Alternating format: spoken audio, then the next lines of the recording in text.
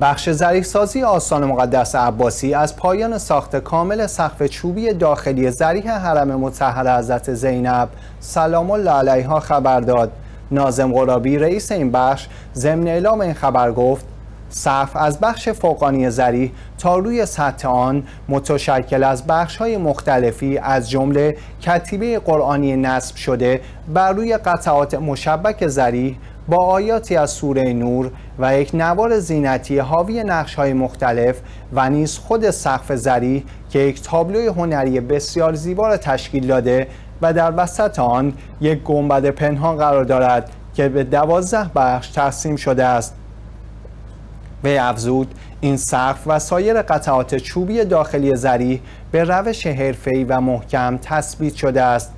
در این اقدامات همان قطعات خارجی زری که برای عموم آشکار است به کار رفته و با همان مهارت و دقت اجرا شده است. به گفته وی در ساخت این قطعات از چوب ساج برمه و در ساخت کف و تزئینات آن از چوب بلوط سفید استفاده شده که همگی در رنگهای طبیعی خود هستند.